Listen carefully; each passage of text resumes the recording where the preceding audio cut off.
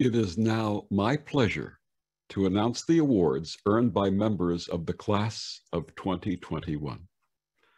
This first award is in memory of Anne B. Festa, Bishop Festa's late wife. The Anne B. Festa Award for Interfaith Values is awarded to Reverend Dr. Alan Siegel.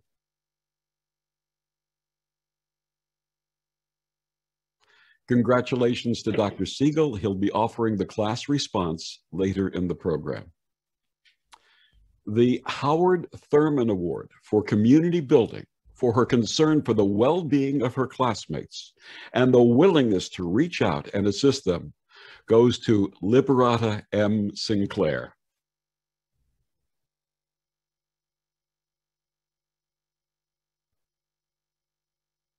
Liberata, you're going to say a few words.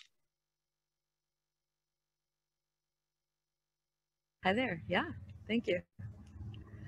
So I'm the community person and I am a weaver and I was given two minutes. So let's see what we can do with a couple of minutes together. I'll share a little of my inner theology of presence and you can see what you feel about it and if it's of use to you my work and life has taught me we are intellectual, mental, emotional, spiritual, physical. In a physical and non physical universe, we are within this physical body. Uh, with a product driven values culture and working within another physical construct of time, a created structure. This physicality is one fifth of our wholeness, yet it commands center stage and can leave the rest of ourself, intellectual, mental, emotional, spiritual, feeling in some kind of exile a big way to break that exile is to break time and its presence. And we hear the expressions presence or the gift of time, and we somehow know this is really the truest treasure we have. And the liberation from the push and pull between our aspects of self and the constructed world is a key we hunger for. This is the unseen structure of community. Like the holes in lace, we often marvel or critique the physical threads that make lace, but forget that the unseen structure of the spaces are just as integral to the patterns. If you can free yourself from the dominance of this physical structuring that creates a type of exile of our other four fifths, we find timelessness, time to call someone, be there, listen, notice, which is communion. And are reminded through this there is no other and we have a lifeblood of inner knowing activated.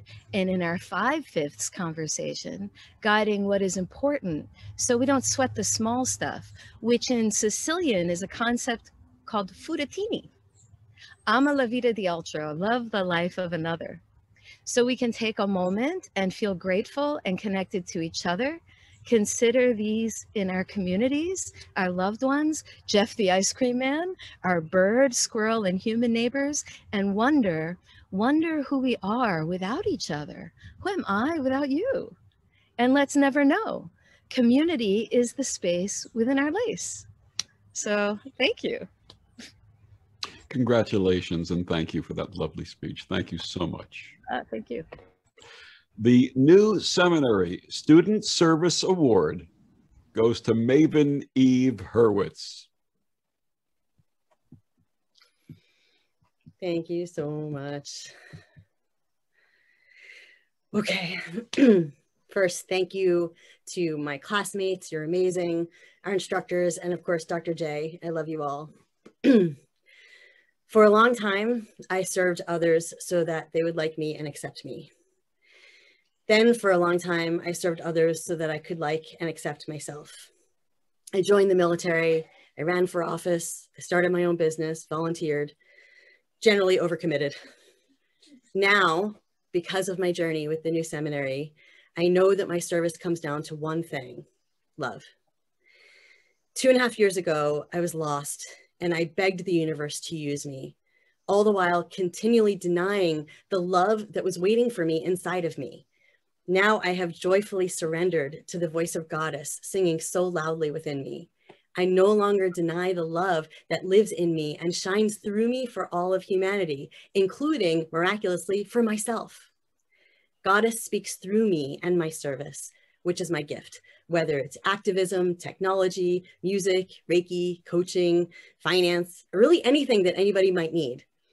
Being a really useful engine fills me with joy and makes me happy to be alive and human and participating.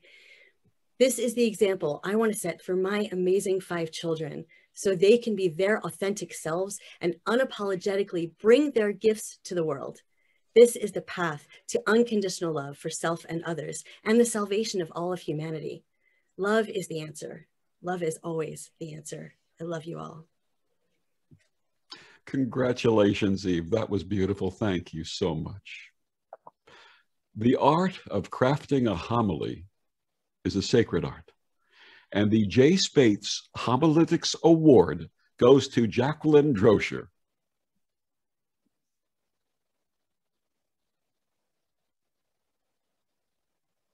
Jackie, you're muted.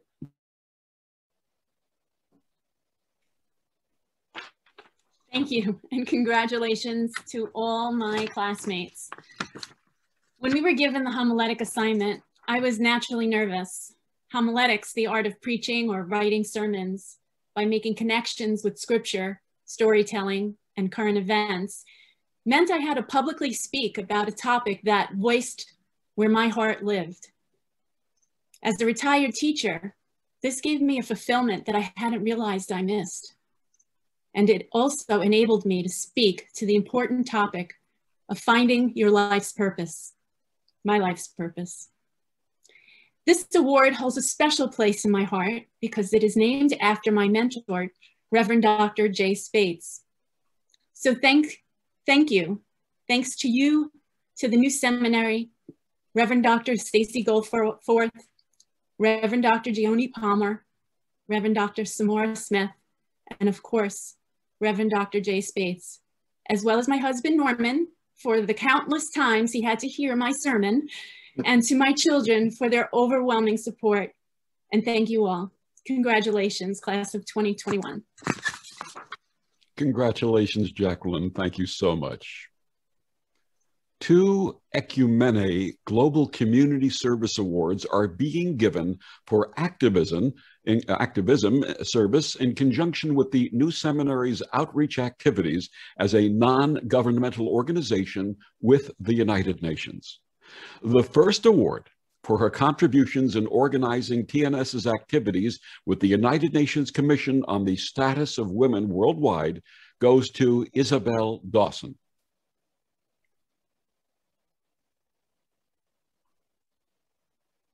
Isabel here with us? Don't think she's here. We offer Isabel congratulations. The second award for organizing TNS's participation in the annual World Interfaith Harmony Week goes to Dr. Claire Alicia Nelson.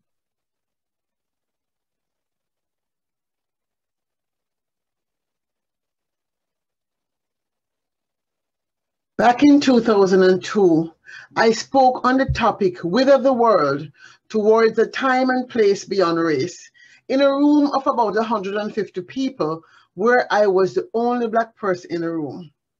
As a lifelong stutterer in recovery, I gripped the podium all the way through. So the next day when I got home, I opened their thank you card and it read, Thank you for your ministry.